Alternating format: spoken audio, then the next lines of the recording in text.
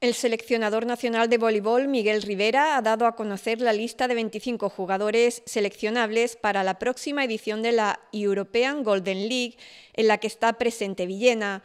Los linces rojos comenzarán el próximo 2 de mayo en Palencia la concentración previa de cara a los compromisos internacionales del verano. El lunes 9 de mayo en Guadalajara dará comienzo la concentración oficial con el listado completo de jugadores seleccionados por el técnico madrileño para disputar la máxima competición continental que se celebra de forma anual. La Golden European League regresa al formato antiguo de liguilla a doble vuelta, con encuentros como local y visitante, que arranca el 25 de mayo con el primer choque de España ante Dinamarca y culmina con una gran fase final en Croacia los días 18 y 19 de junio.